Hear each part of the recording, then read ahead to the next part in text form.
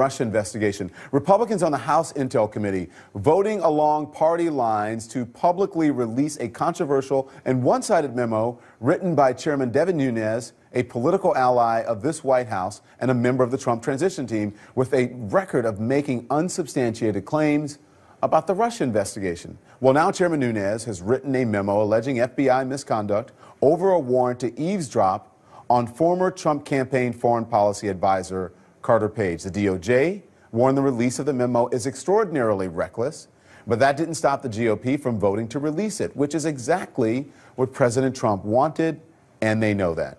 And it comes on the same day as a surprise resignation of FBI Deputy Director Andrew McCabe, who stepped down in the wake of months of criticism from the president. So we have a lot to cover uh, in this hour here on CNN. And I want to bring in now CNN Justice correspondent Jessica Schneider. She's uh, first up. Jessica, good evening to you. Two major breaking stories today. First, on this controversial partisan memo alleging uh, FBI misconduct, the House GOP voted to release it.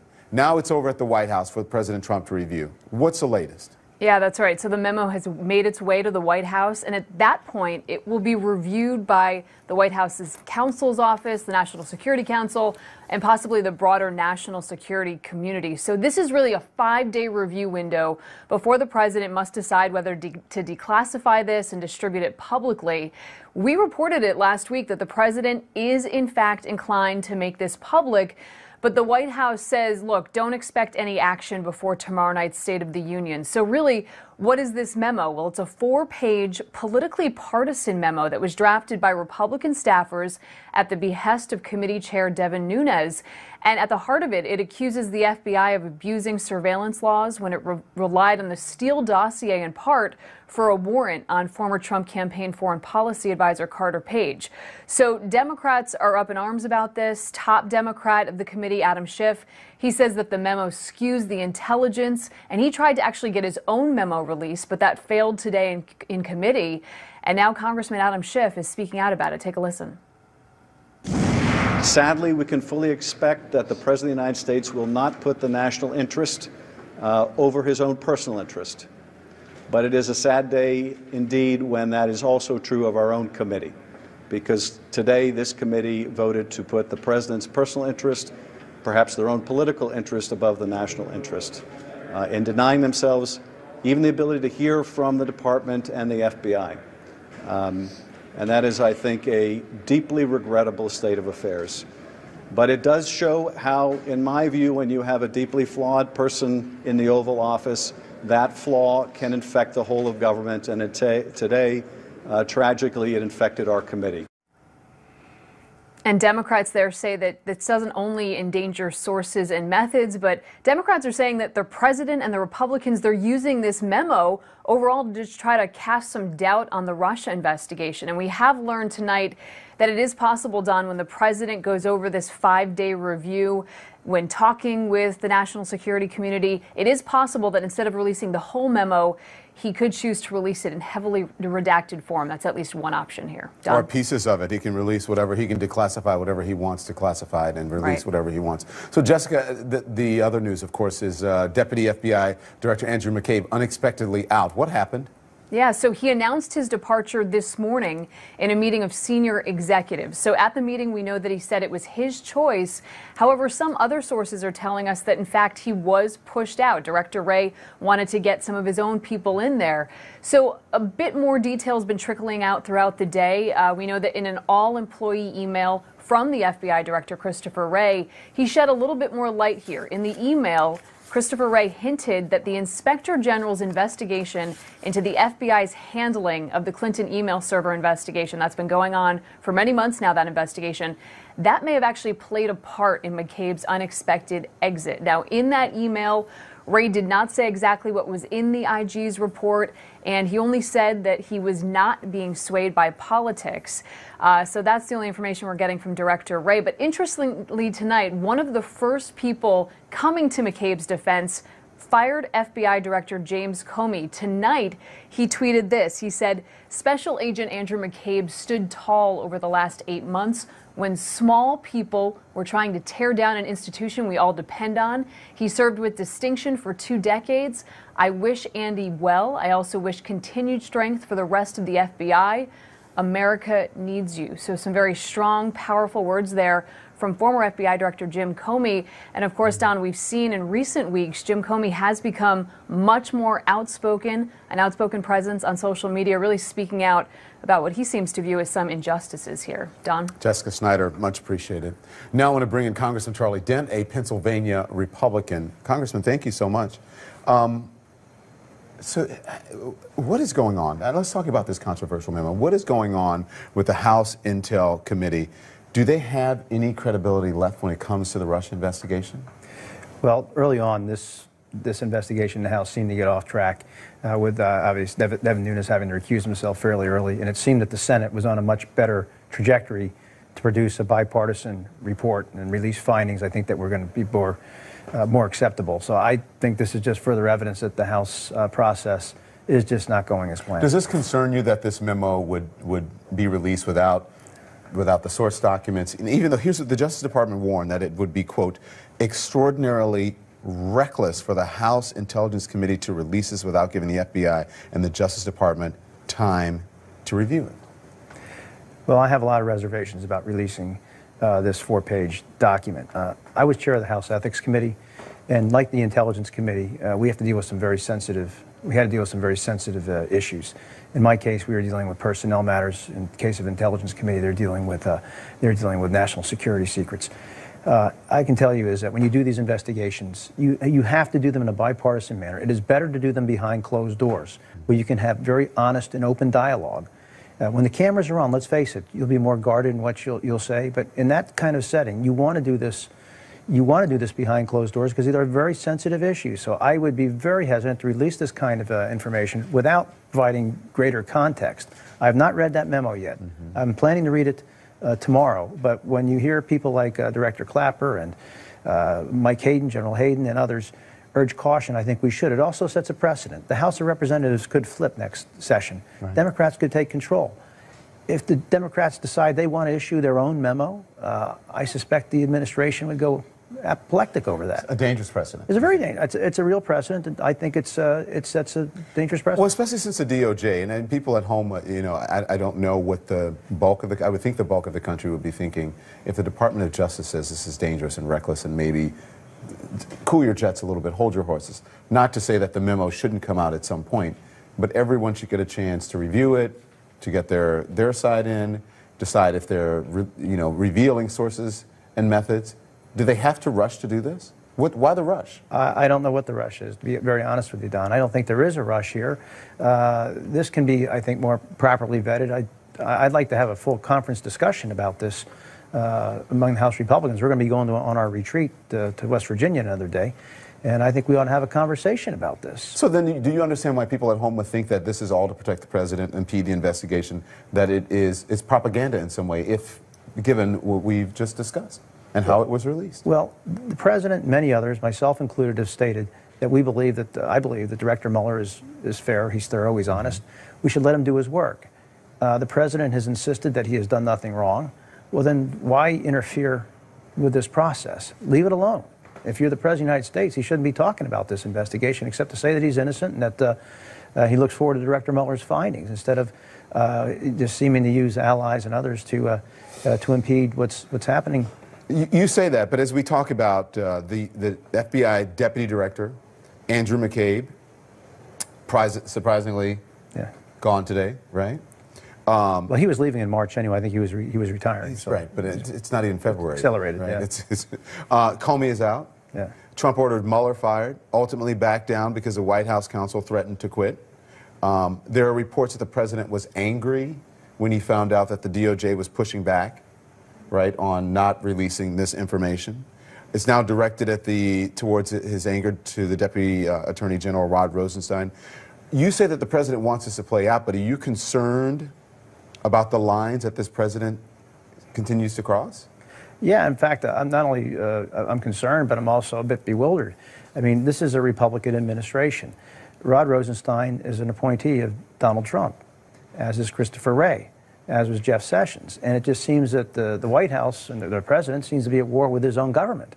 I really never seen this. I mean, I, I guess it goes back to Watergate. You mentioned Don McGahn. I mean, I think Don McGahn did the nation a service a couple days ago when he, uh, when he basically prevented a Saturday Night Massacre, you know, a Archibald Cox moment. He saved us from that, and he, I think he, by doing so, he helped the president. Yeah, but uh, was, I think it was David Gergen. Didn't David Gergen say it was a it was a slow motion um, Saturday Night Massacre because he's basically getting rid of everyone who is investigating him. He, he's at war with his own party and with his own the, the people he appointed. Why why won't Republicans? They voted on party lines today to release that every single one of them. Why won't Republicans stand up for you? You heard uh, Director Clapper. You heard General Hayden saying the Congress is there to keep checks on the president, and they have relinquished their power and authority to the president of the United States.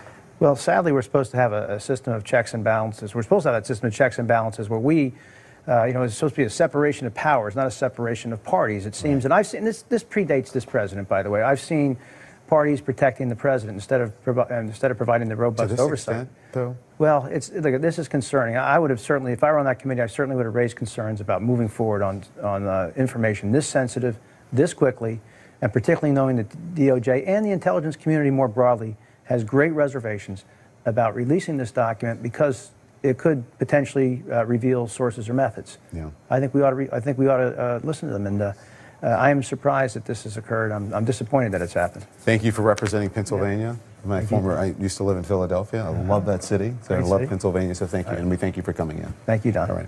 When we come back, the White House today saying nothing improper has been done in regards to the Russia investigation, and yet the president has fired or wanted to fire pretty much anyone in a position of power over that investigation. So, who really has what the White House calls Russia fever? It has been a crazy day in Washington and a big day ahead tomorrow, really a frightening day. I want to bring in now CNN senior political analyst Mark Preston, CNN political analysts April Ryan and Ryan Lizza, and CNN legal analyst Laura Coates. Good evening to all of you. Good Man, evening. We have so much uh, to, to, discuss here. Trump administration announced today, not Ryan, they're not going to implement sanctions um, for Russia-related sanctions. What is? Why not? Here's what they say. They say that the threat itself is acting as a deterrent. Well, I think the first thing that's bizarre about this is that Congress passed these sanctions by overwhelming majorities. Right. We're talking only single digits voted against them in the House and the Senate. So normally, the way it's supposed to work, if Congress passes something, you have to veto it if you don't want to implement it. So I think the first thing the administration needs to do is what is the legal justification for not abiding by the will uh, of Congress? Um, the second thing is, given this president's um, vulnerability on this issue and the outstanding questions about what happened in the 2016 campaign, it's sort of surprising that just politically they wouldn't uh, go, go forward with this. It raises the question of what is this relationship with Russia? It's just another data point that there's something off about Trump's relationship with this country. Yeah, and, and you're, you're, you know, you're at the White House pretty much every single day, uh, yeah. uh, April. Sanctions are at the root of so many key yeah. points in this investigation. Uh, Don Jr.'s trip to, to Trump Tower, the meeting with, with lies and misdirections. Yeah. Uh, around that, Fl uh, Flynn's communications with Kislyak, mm -hmm. he lied to the FBI, lost his job over it. Yeah. So, what? Why, why the interest in not sanctioning Russia? the atmospherics just don't look good. But I mean, at some point, we have to use common sense. And what the common sense says, I mean, with everything you listed plus other things, it doesn't look good. It's, it's, it makes you wonder if there is, the smoke is billowing even more. Where there's smoke, there's fire. And the problem is, as we're hearing about the sanctions and other things, and, and, and this McCabe issue where they created the atmosphere to, to force him basically out, the problem is we have a president who said he was a law and order president. We have a president who said he was a law and order president, and he's shifting to to get the pressure off of him. So, or it doesn't look good. It just does not bode well. I've, I've, got to ask you, Mark, when you look at the, let's see, everything that has happened. Um, he fired the FBI director, James Comey. He uh, wanted to ouster the deputy director of the FBI, who was pushed out today, Andrew McCabe. He wanted to fire the special counsel, Robert Mueller. He wanted to fire the assistant attorney general, Rod Rosenstein, who oversees Mueller's Russia investigation. Do they have any credibility in that when they're wanting to fire or firing all these people are having them pushed out as it relates to this Russia investigation? And, and you forgot one. Let me add. He wanted to fire the uh, the Attorney General Jeff Attorney Sessions. Jeff Sessions, yeah. Uh, to the point where Jeff Sessions tendered his resignation and, and it wasn't accepted. You, you know, I guess the one thing, and we've talked about this in the past, but uh, the one thing that really is is striking to me is that I've moved beyond what President Trump does or doesn't do. It's just it's very chaotic. Uh, th- there's no semblance of order. What I have trouble though uh, understanding is his supporters who are blindly following. Not that they can't support him, but no matter what he says, even if it is a lie, if it is a falsehood, call it what you will, they still blindly follow him. You just pointed out several different examples right there that would add gasoline, you, know, to a fire that people would say, "Whoa! Now there's a fire here. There's smoke. There's something here." No, we don't know what's there, if anything, or if he himself is involved. But the fact of the matter is, is that he still has that blind loyalty. Is astounding to me. It's unbelievable. I heard uh, someone on, uh, I think it was our air, where they were talking about, um, it was over the weekend, they were talking about the uh, Hillary Clinton investigation to the staffer, Yeah. who- the sexual harassment. Yeah. And the Democrat who was on said, I, I cannot condone that. I cannot make any excuses for that. That is absolutely wrong. I do not support her in that. Why don't Trump supporters do that?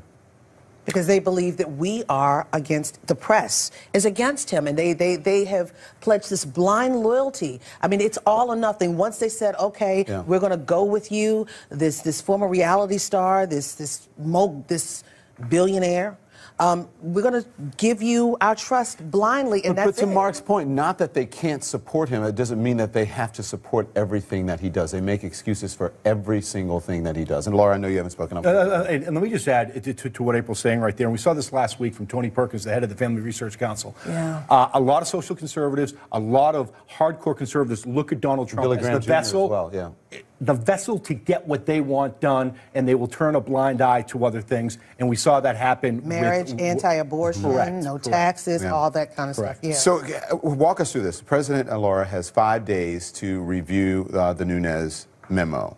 So, they repeatedly indicated they wanted the, the memo out. So, where do we, we stand on this? This memo is probably going to be released, right? Yes, And what- likely. what's the impact? Well, the impact, frankly, is that you have a situation where can you imagine, as a federal prosecutor, you'd be able to write a memo to the jury and tell them why you think a defendant's guilty, not allow the defense to issue their side of it, um, not show the evidence to anybody, not review it yourself, and then be able to say with a wink and a nod, trust me, believing whatever is in it. What you have here is the acceleration of hypocrisy. You have people saying, I'd like you to go by innuendo alone and condemn or support me, but do not do the same for the other side. And so, where we see this going right now is the idea that we're looking to vilify one of the main organs of the executive branch, the FBI. They're looking to say that this is an institution you cannot trust. Let's follow the logical conclusion here. If you are to say, and let's say for the benefit of the doubt, that there is no conviction, there is no um, indictment coming for the President of the United States. If you take all the time and energy in the world to say that you cannot trust the results of the investigation, then where do you stand if it were to exonerate the President of the United States? I mean, it's the quintessential cutting off one's nose to spite your face that doesn't make sense to the American people and should not. And one of the things you guys are talking about, the idea of why is this blindly following? Well, the, the responsibility of any Democratic voting member of our society is to question the things that do not make sense and to call the attention of people and rely on Congress to act in a way that's responsible. And what we're seeing here right now is a politicization of an otherwise criminal probe that should be out of their purview. Laura, last week the, uh, we learned that Christopher Wray uh, threatened to quit if, if Trump uh, tried to fire Andrew McCabe. And yet today we are learning that McCabe was pressured to leave because of Wray.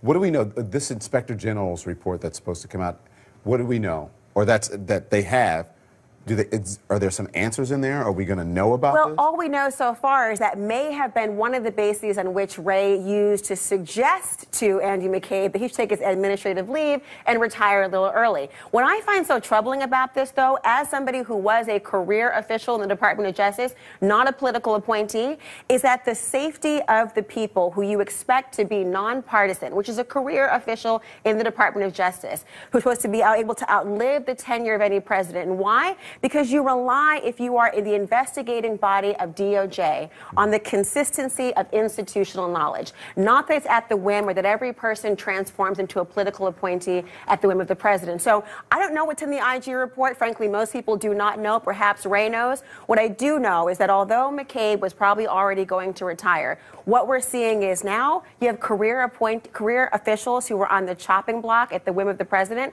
That's a very dangerous precedent. Forget morale. Think about all the other investigations the FBI is doing that have nothing to do with this that are now also on the chopping block. Ryan, after this, I want to point this out because this is uh, the FBI special agent and CNN analyst, uh, Asha Rangappa. She tweeted this. She said, uh, Folks, remember that Deep Throat, the man who exposed Nixon's cover up in Watergate, was the retired number two person uh, at the FBI. And then a short time later, that former FBI Director James Comey tweeted this, saying Special Agent Andrew McCabe stood tall over the last eight months when small people were trying to tear down an institution we all depend on. He served with distinction for two decades. I wish Andy well. I also wish continued strength for the rest of the FBI. America needs you.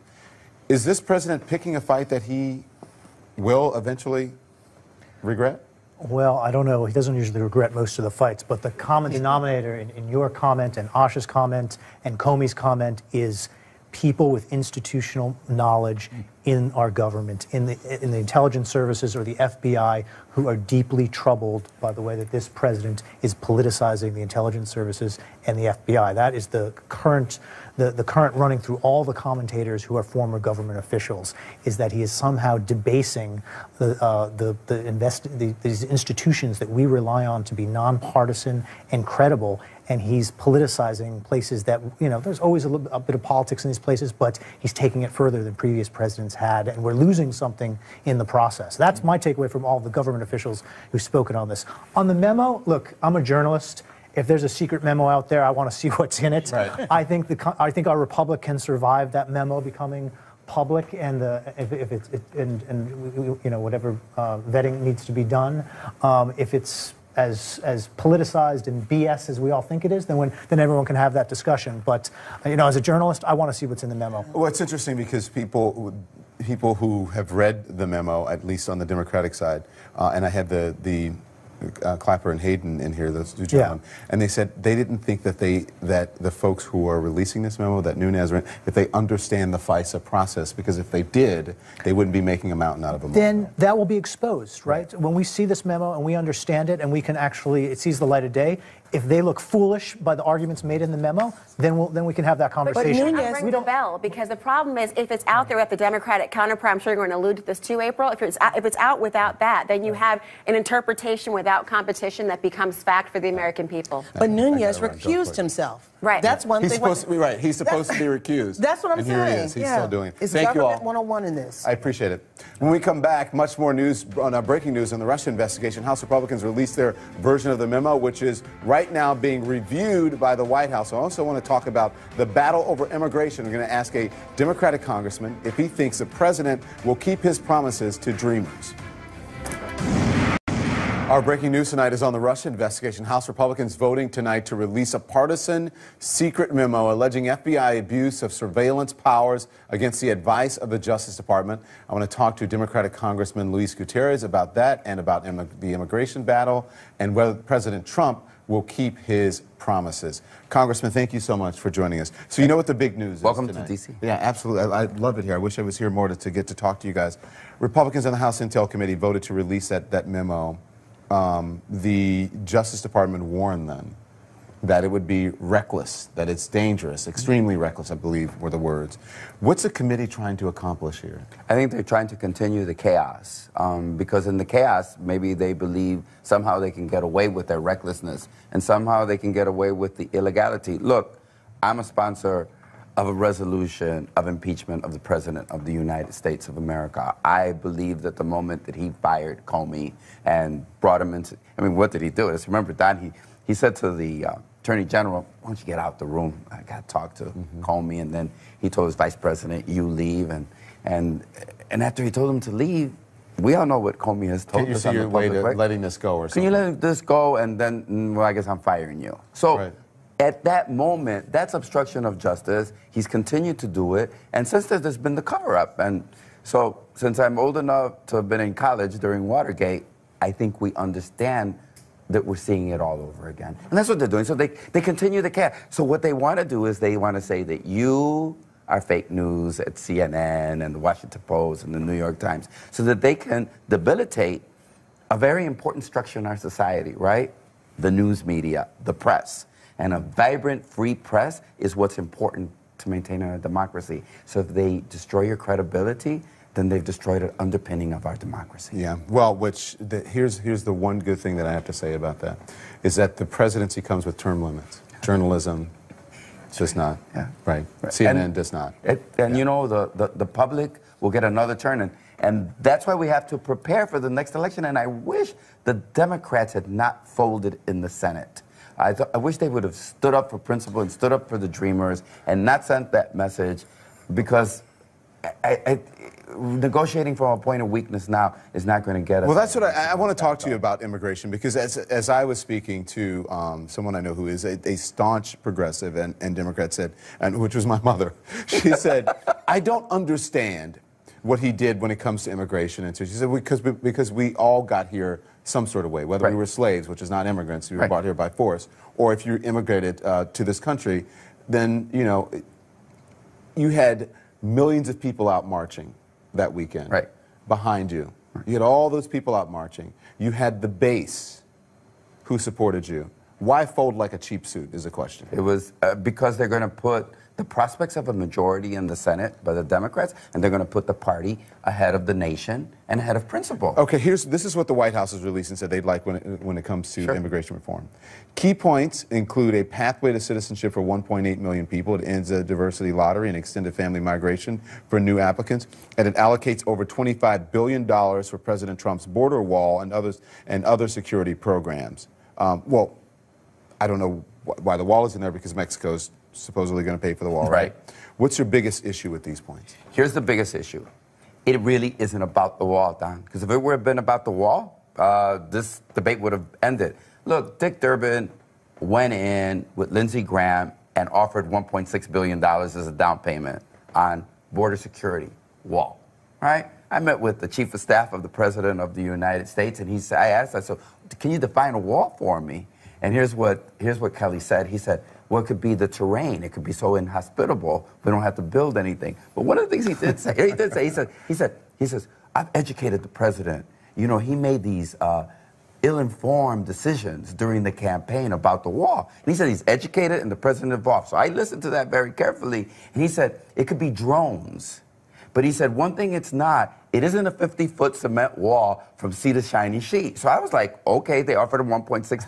I think the senators know because it was about 800,000 young kids Right. who have a future in America. And when you put their lives, you have to ask yourself, you know, what if they're deported? What if they're sent back? What if those ugly drug ca- uh, cartels, those human smugglers that are there just waiting for them? And you cannot risk that this administration won't, they know where they live, they know where they go to school. Where do you, so then where do you think DACA is at, at, at, So here's- at this here's- point? And, and, and it, it, is it worth making the deal then to help the folks that, that you said? Here's what I, I, one of the things I love about these young people is they said, if it means hurting other people's in order for us to be helped, mm. don't take the deal. Yeah. Now, I will say this. Remember, they're coming after legal immigration.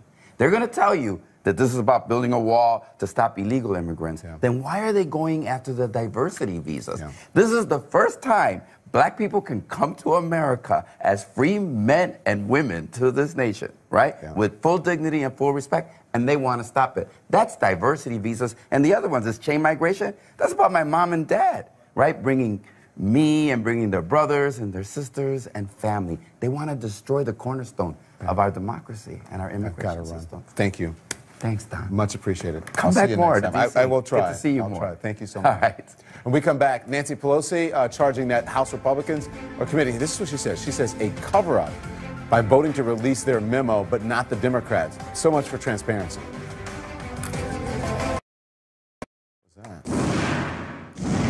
We have breaking news on the Russia investigation tonight. House Republicans voting to release a partisan secret memo alleging FBI misconduct. The president theoretically has five days to decide whether to release the memo, but he is known to want it released. Uh, that on the same day that the FBI Deputy Director Andrew McCabe abruptly stepped down under pressure from the White House. Let's discuss now. CNN senior economics analyst Stephen Moore is here, a former advisor to the Trump campaign. CNN po- political commentators Amanda Carpenter, Tara Setmeyer, and Maria Cardona.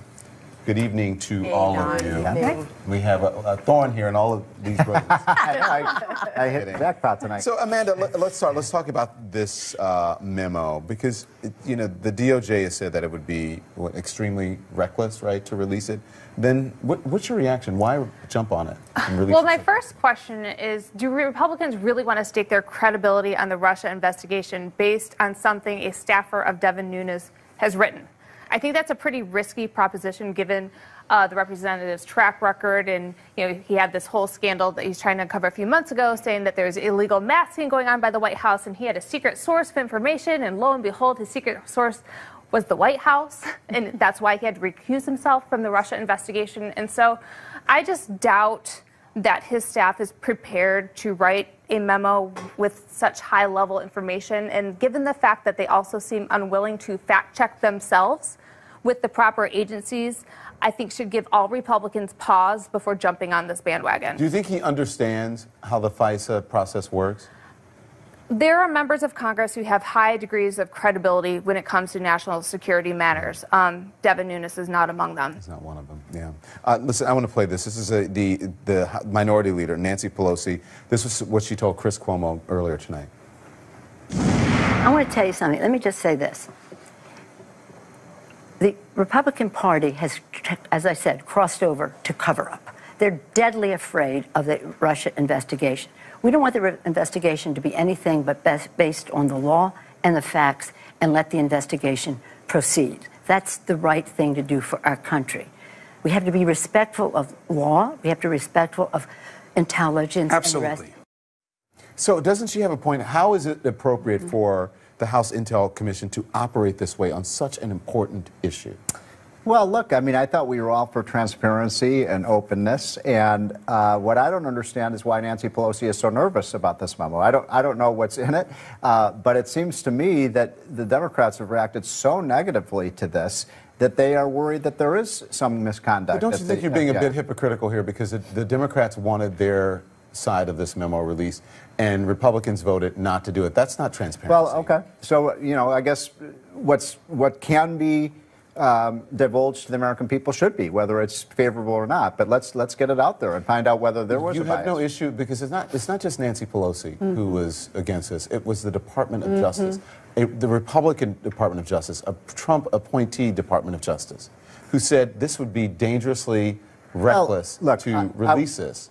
I would say that uh, look, the um, this speaks about the competence of the of the Justice Department, and so you could see why people at the Justice Department might not want that information about the FBI revealed. Maybe it's because they don't they they're not using the source documents to back it up, and it's it like um, to Amanda's point, it's written by staff of the committee. But if that's Um, true, won't that come out? I mean, Yeah, why Devin Nunes hasn't read the source material Right. himself, so he's writing a book report on a book that he hasn't read. That's okay, but if that's the case, I mean, look, you may be right about that. If, if that's the case, then Republicans are going to look completely silly by putting out this. But it's not. It's not just that. Listen, this is not a Republican or Democratic thing or Democrat thing, because it's it's a dangerous precedent to set. Because as um, Laura said, you cannot put the genie back in the bottle. If you release this information and somehow you release sources and methods or confidential information, it's already out there. You can't pull it back.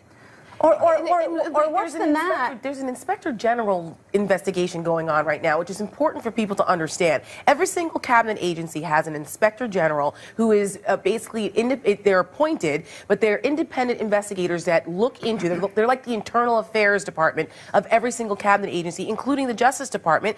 And the inspector general right now, he's doing his job. It, it's he's the reason why we know what was in those text messages and things like that. And the inspector general, well, his report is is going to come out and uncover any kind of misconduct that would potentially be going on here. Why do we need this politically motivated cover for the president coming from Devin Nunes and the Republicans? I just think that this is irresponsible Maria, of could them you mind? to You're going to be so way. mad at me, but can you hold your thoughts to the other side of the break? I promise you'll be the first one to speak. I'll let you speak the most next block. We're going to talk. Promise? I want to hear what you have to, what you want to hear tomorrow from the president. Okay. And also, if we have time, I want to talk about uh, the first lady and Stormy Daniels. Okay. We'll be right back. And we're back. Stephen Moore's here, Amanda Carpenter, Tara Setmayer, and Maria Cardona. Maria, what do you want to see tomorrow? Uh, tomorrow, I would like to see, which I know I'm not going to get, a, a, a straightforward, credible President Trump that wants to be president for all of the United States and not just the 33% of his base. But the problem with that is that even if he reads from the teleprompter and doesn't slur his words and doesn't insult communities and doesn't insult countries and doesn't insult our allies um, and doesn't cozy up to our adversaries, he is benefiting from such incredibly low expectations that if he does just that, people will say, oh my goodness, look, he can be presidential. But that does not erase a whole year of chaos, divisiveness, cozying up to white supremacists, eh, completely insulting every community of color that there is, women, Well, I'll tell you one disabled thing he's going to devote What do you 70% wanna So, of that I don't know speech that on it's it. gonna It's going to be jobs, the economy, the improvement, and, and he's going to talk about all these companies get coming back to the United States. And look, eh, when it all comes down to it, when you look at what Americans were most concerned about in 2006 and 7 and 8, uh, it uh, you know, I mean, in, in you know, 15 and 6 and 7, it's all the economy, you know, and he's going to talk uh, about that. I saw the president today at the White House. He gave a little kind of preview of what he's talking about. It was all focused on, and he didn't seem too concerned, uh, you know, about. Uh, he didn't sound like a, a man who, who felt like he was under the gun on this FBI investigation. He seemed very in a jubilant mood about what was going on. The You know, president meeting with supporters today, many Yeah. supporters from around the country Yep. uh, in the White House. But I want to continue on to talk about the State of the Union and, and, and talk about it in this way because um, Jim Acosta is reporting that the First Lady, Melania Trump, is expected to attend the State of the Union uh, address tomorrow night. Uh, this comes after this is explosive Wall Street Journal about report about Stormy Daniels getting paid $130,000. Remember, uh, before the 2016 election, to keep quiet about an affair. Um, she had a decade earlier with the president or with Donald Trump at the time he wasn't president. The sources are telling New York Times that Melania was blindsided by reports of a payoff. So, this, all eyes are, are going to be on the First Lady tomorrow night. Yeah, that will make an interesting sideshow. But about the Stormy Daniels story, I think two things are really interesting. One is that Donald Trump's legal threats against In Touch in 2011 was successful in blocking them from publishing that story at the time. The second thing, which is even more interesting, is how familiar that his lawyer Michael Cohen is with setting up shell companies to hide a payment to keep a woman silent. Um, that is very interesting to me, and how deftly he navigated that matter. In addition, there was another story by BuzzFeed over the weekend that showed that one fifth of Donald Trump's properties are owned by um, all cash buyers set up through shell companies. And these are two known um, markers for potential money laundering. So these two things put together with the Trump team's ability to hide payments and having such a large inflow of investors in their properties who you know, not saying they were engaged in money laundering, but the fact that those are signifiers for money laundering in a way that a bank would flag are very interesting to Is me. this, is this the whole deal with the investigation? Is Of this what- course it is. I mean, look, we've always said follow the money. There's a reason why Donald Trump would not release his tax returns. It's for reasons just like this. He has had to have foreign money prop him up since his what fourth or fifth bankruptcy, including Russian money. Deutsche Bank, which is now uh, uh, under Swiss investigation for some uh, questionable dealings, and Deutsche Bank has had a lot of Russian money laundering go through there and Russian mob money. There, all of these things um, are problematic for Donald Trump in his properties here in the United States and overseas, and that's why he said that. uh, Finances would be a red, Red line lines. in the Mueller investigation. Yeah. I have always thought that finances were, were where the the the bulk of it was going to Of be. And course. Stephen, you and I got into an ar- argument about this because you were saying that oh he shouldn't be the finances shouldn't be on Yeah, the no, table. that should not be of part of course this they should be on the. No, table because Yes, that's should. exactly what's going to lead investigators to the nugget of why he feels beholden to Russian interests. Then it just becomes a big witch hunt. into No, it doesn't. that Not a witch done, hunt. If the to be very money is there, if the money is there and the connections are there and the financial connections right. are there, and it's not just Trump. I think it also has to do with his family. And that's why it would explain why Donald Trump has been so reluctant to implement Russian sanctions. Like Uh-huh. today, they're not doing that. Why he won't? Why it seems as though they're not doing anything about the fact that Russia meddled in our in our elections. These are Last- the money makes has an influence on his behavior. Last word. I would just say, if you look at the transcript of when uh, GPS founder Glenn Simpson testified before the House, he was practically begging congressional investigators to look into Donald Trump's finances, particularly in New York and Florida. Yes, Yeah. and they still should. Yeah. That will not be addressed at the State of the Union No, tomorrow be. night. But I, I think it's interesting that the, the Democrats have invited some of the DACA kids to Oh, gonna be there yeah. tomorrow. It's going to be an interesting State of the Union. Gonna be I huge. spoke to some of them who said that they, uh, uh, uh, Congressional Black Caucus members who said they won't show up. And others say they will show up, and this, their words, they want to stare uh, racism right in the face and confront it. So it's going to be interesting. Uh, for them. An interesting evening. So make sure you stay tuned. Thanks for watching. Don't miss in in special coverage of the State of the Union beginning tomorrow night at 5 Eastern. I'm Don Lemon live in Washington. I'll see you back here later on in the week. Good night.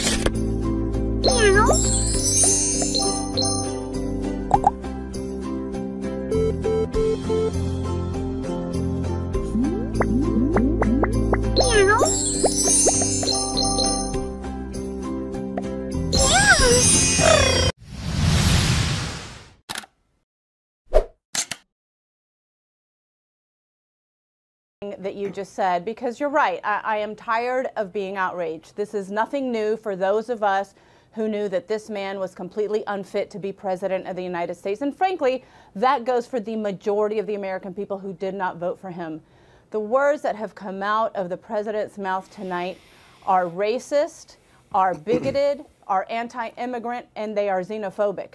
And they are those things, Don, because this president is a racist, he is anti immigrant, he is xenophobic, and he's a bigot. And there is nothing that will convince me and so many other Americans who have seen this president denigrate our pure American values of equality, of a level playing field, of understanding that you can come to this great country seeking a better life and lift yourself up from the bootstraps. That's a Republican ideal, by the way and become an American and live the American dream. That is why my parents came here. That is why they brought me as a two year old immigrant from Colombia, who I'm sure this president also sees as a shithole country. My father came here with not a cent in his pocket, and he sent all of his three children to school. One is an engineer, one is an entrepreneur, and I am here tonight speaking to you on national television. Not one year ago, Don, my children were on with you on the set during the inauguration, and you asked them, a 13 year old, well, back then a 12 year old, and a nine year old, a 12 year old boy and a nine year old girl, and you asked them what they thought about the election of Trump. And they told you they were afraid. Hmm. They were afraid for themselves and they were afraid for their.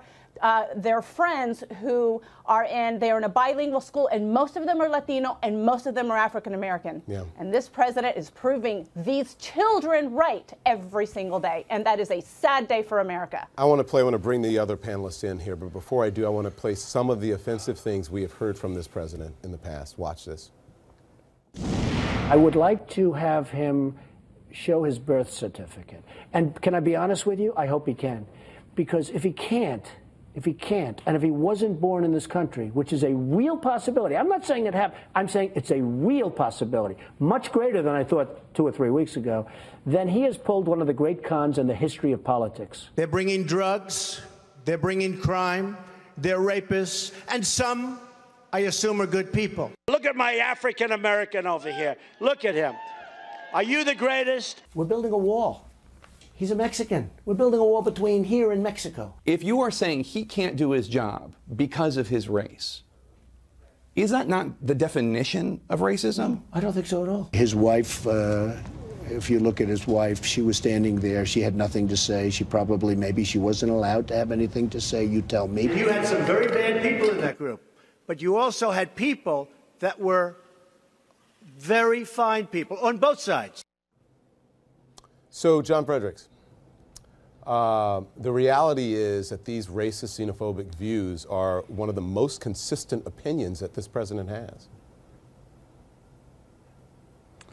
Well, Don, it's not about race, as you like to make it, because that's easy and lazy. It's about economics.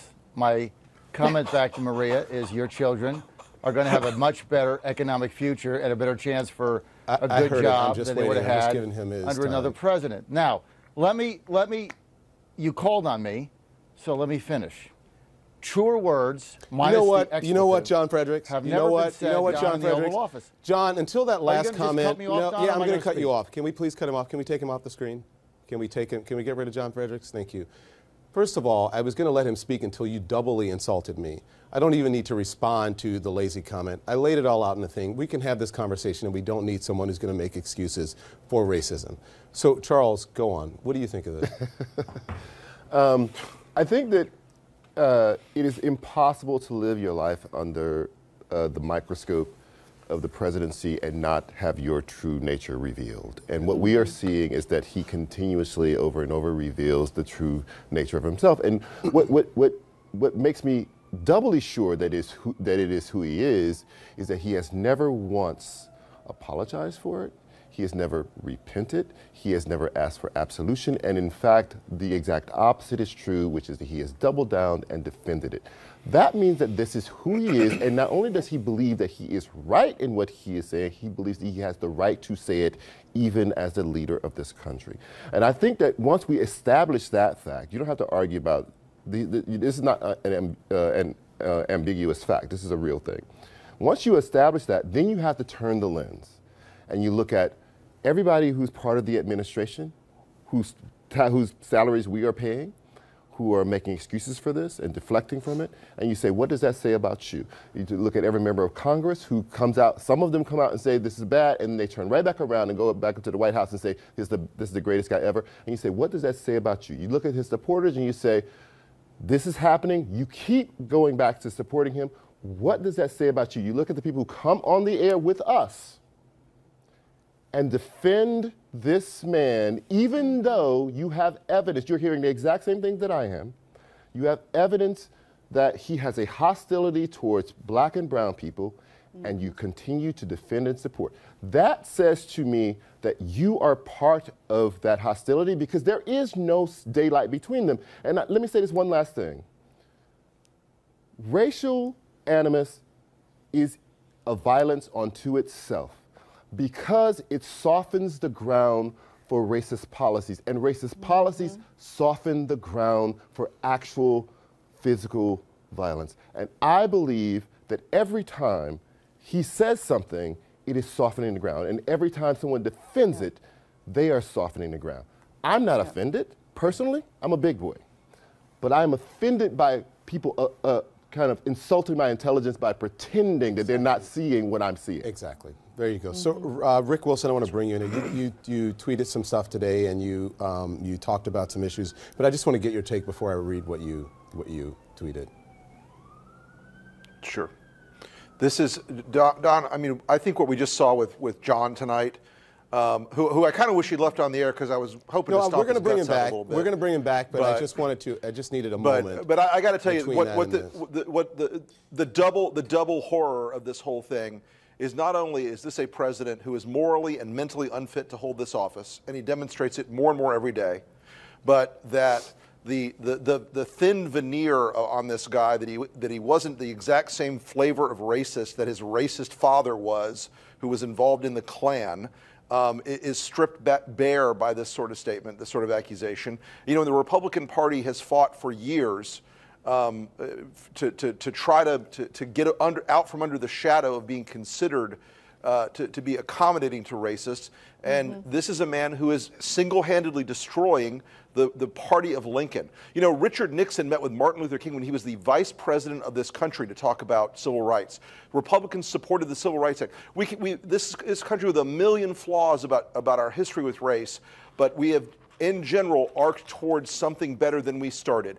But Donald Trump seems determined to turn that around. He seems determined to become an avatar for these alt-right jackholes and to turn this country into, into a, you know, a, a moral shithole because he can't resist giving into the impulses that drive him and they are repulsive and they are and they are like i said they make him morally unfit to hold this office yeah so uh, john hopefully you've calmed down because um, I invited you to come on. Uh, I like hearing from you sometimes, but I'll be damned if I'm going to sit here and let you insult me.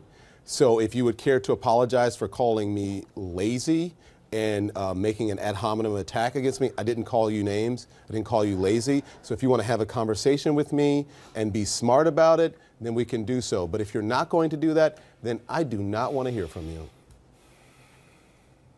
Don, I apologize. I meant no offense. Apology words today in the Oval Office have never been said. This is what people say around their kitchen table, right? This is what you guys have to understand that you don't really get. And this is not about race, this is about economics. Donald Trump is not the president of Haiti, he's not the president of Africa, he's the president of the United States. His job is to protect and secure and to increase the prosperity of Americans. What does that have So to do with calling someone? Can we put everyone up on the screen because I want people to see the reaction here? What does this have to do with calling countries, um, sh- black and brown countries, shitholes? And just because you say it around your kitchen table, that was the whole point. Maybe you didn't hear my opening monologue. That was the whole I heard point. Is opening. that it doesn't I- and I appreciate necessarily your make it doesn't Don. necessarily make it true. And that you said truer words have never been spoken. So, you, do you, in fact, yourself believe that these countries are shitholes? What I believe is, look, there's two issues here. Did there's you, the do colorful you in fact believe, and if- because you said to me that truer words have never been spoken, do you think these countries are shitholes? I believe that taking in lottery visa scam immigrants from countries that have low education and my low-skilled question. workers You're not answering my country. question, John. I Can don't you know. just I've be not been to honest the enough country, to Don. answer I'm my trying to, question? I'm trying to give you a substantive But if you're you're gonna come on and make a claim me- and say truer words have never been spoken, then give me the evidence that it's true. And if you be- and do you so do you believe it or not? finish, and you must believe If you just cut me off, there's no conversation. But if it, answer my question, I'll let you go. Do you believe it's true? I believe that the immigrants from these countries that are coming in under the scam visa lottery system are uneducated and very low skilled. And so here's what happens they come to the, the United States and they do nothing to increase the prosperity of the American Oh worker. my God, They I cannot believe wages, those words are coming wages, out of your mouth. They him finish, lower wages finish, let him or they go on welfare and extend our entitlement system. I mean, this is the economic reality that you people will not grasp and understand. sorry. Low skilled Yeah, okay, workers Okay, and John. uneducated workers coming into the look. Australia and Canada have a Wow.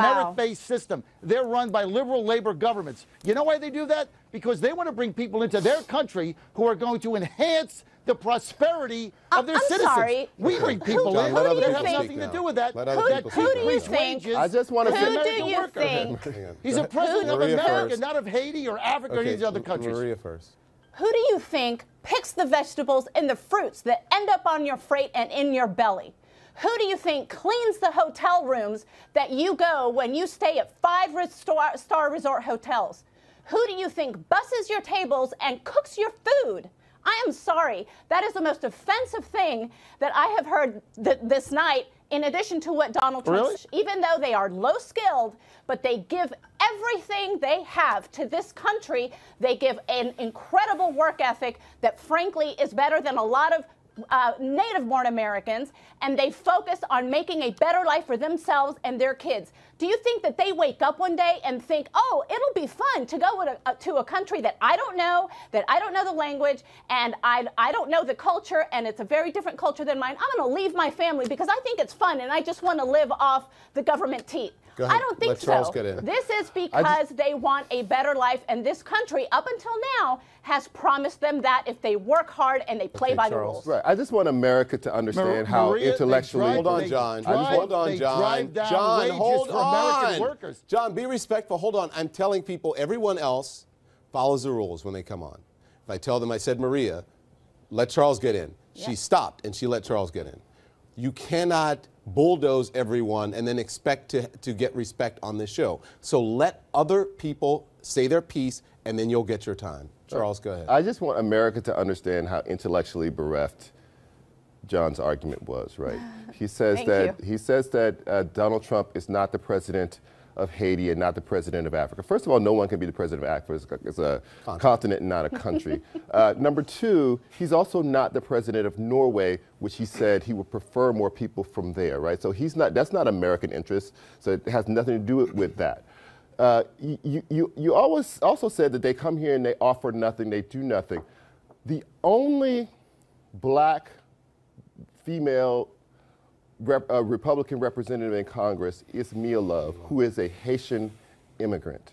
And she is a Republican. And she is, I would argue, giving back to this country in abundance. I think that what, what we, you twist yourself into a knot by trying to make this be something other than what it is.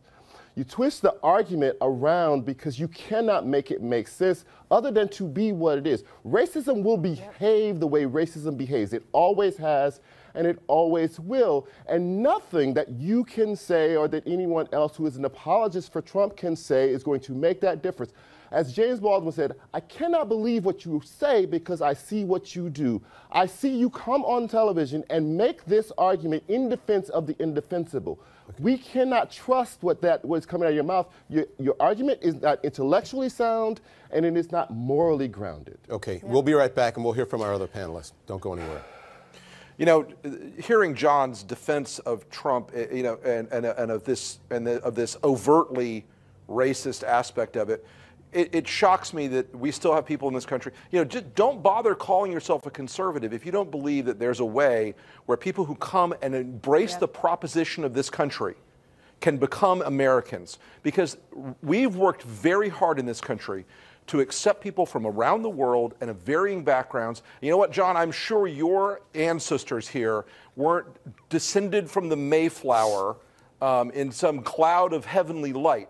I'm sure they came here from Ireland or Germany or Italy or mm-hmm. somewhere else. And you know what? Back then, they were the shithole people. Back then, they were the people who were looked down upon. And you know what? If this is a country that's based on the proposition that we have an American system, an American dream, an American uh, uh, framework that allows people to come here and work hard and raise their families and engage in society and contribute to society, yeah. then your idea that these people should be bounded out of here because they happen to come from the shithole countries is absurdly un American, absurdly unconstitutional, and not conservative in any way whatsoever. And if you believe that, go on Amazon, order yourself a pointy white hat, head down to Home Depot and get the wood to build a burning cross. Because that's the kind of thing you're talking about. That's where your attitude leads to. John? Well, it's about economics, Rick, and you can throw all the insults you want, and I appreciate it. Uh, and uh, but look, at the end of the no, day, you don't appreciate it, uh, John. Uh, you are a weak. You are a weak, impotent person who can't handle the fact that there are people who don't look like you who want to come to this country because our system is awesome. You mm. hate that. Mm. You hate it so, so much your, because you're just so weak inside.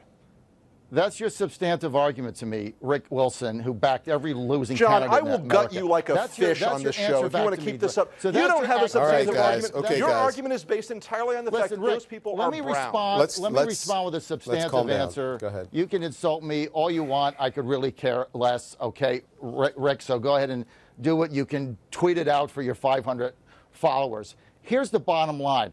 This is not about race. The president said for two years he is going to curtail immigration into this country, which drives down wages for the American worker, and he wants That's to go to a merit Hey, John, if those system. Are, hey, John, let him finish. Let him finish. Let him finish. John, Let him finish. I promise you, you'll get a chance. Go ahead, John. John, did you finish you know, your point? When you allow people, when you allow people under a scam lottery visa program to come into the, the, the United States that do not contribute to the economic well being of the country, you are either driving down wages. And I'm telling you, Rick and Maria and Don and Charles, this is the unholy alliance of all time between Democrats that want open borders and free immigration oh, so they please. can get cheap votes. That's and, a lie. Okay, so and, we're getting and, away so, from. So, so hang on, hold on, guys, hold on, guys. And Rick Wilson, uh, so John, you're getting away from actually what the president said That's what this today. Argument is about. You're trying to turn it into John. race, and it's so not. John, it's about so economics John, for so American workers. The John, John, the president today said he wants people from places like Norway. Those are people who are highly educated and skilled. They're going to come here. Are, are, you cool with them coming here to take highly skilled and educated jobs from Americans? Is that what you're saying? Or is it just that brown people who are willing to go and work in restaurant kitchens and hotels or and be truck golf courses are unacceptable to you? Or be congresswomen. Yeah, or, or from Norway to go. Or become of astronauts. Course they're okay or, with people from Norway because they're white. But Don, can I can I make one point? I want to back up what Rick Wilson said. Okay, this is a Democrat backing up what a Republican conservative is saying. They never Trump a Republican. He is absolutely yes, which right, means I'm an actual con- conservative, unlike you. Conservatives, conservatives, Jesus. and Democrats are on the same page on this. Let me read a couple of quotes, Don. Listen to this. Who said this? You can go live in France, but you can't become a Frenchman. You can go live in Germany, but you can't become German. Go live in Japan and Turkey, and you cannot become Japanese or Turkish. But anyone from any corner of the world can come to the United States and become an American. Ronald Reagan said that, okay? Here's one from Mitt Romney. We are all a nation of immigrants. We are children and grandchildren of the ones who wanted a better life, the driven ones, the ones who woke up in the middle of the night hearing that voice telling them that life in that place called America could be better. For God's sake, Donald Trump, if you call yourself a Republican, then you need to follow the lead of these real leaders when it comes to immigration or get out. Charles Blow. I don't even know how to follow that. The gu- Rick says he's going to gut him like a fish. Uh, um, he meant intellectually. by. I- I- we got- but he said- if it- yeah, listen. And that's Um, not hard. right. So, so I, I don't, I, I don't buy the, the the economic argument at all, and I do believe that John is Actually, the studies show that it's not about economics. not the at whole all. thing during the Not election about the even even the el- the election of this president was not about economics. It's It was about cultural- race. It is, it is, it is cultural anxiety built around race exactly. and immigration, Yes. whatever. Uh, and and in, ad- but in addition to that, I mean, the the idea that you know that John seems to my, to my ear be conflating uh, the visa lottery program, which both, both Democrats and Republicans have talked about either getting rid of or revamping, with comprehensive immigration, which I believe is what they were talking about in the Oval Office today. And, I, and, and when you talk about comprehensive immigration and trying to protect people who may be coming from vulnerable places, uh, that is just a, that's an American ideal. Uh, we took the dregs of Europe, if I may say that, for decades. Uh, and in fact, that was kind of the mantra of America send us your poor, send us your tired. I mean, we did that because this, that was, America was the young, scrappy place. Well, that's And- part. and- and what- that's part of immigration. What immigration is. Exactly. Right. But, but, but, but what we're seeing is that white America now, and not all white people, but I'm just saying people who subscribe to this kind of philosophy seem to want to lock in the gains, right? Like, it, America is built now. We want to lock in the, the demographics of how it looks now. We want to lock in the power structure as it exists now and not let it continue to be the dynamic place that it always was. Stand by. Are these guys coming back?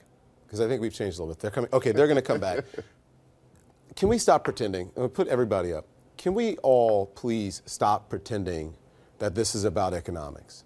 If you do some research, if you read a book, if you do some homework, you will know it's not about economics.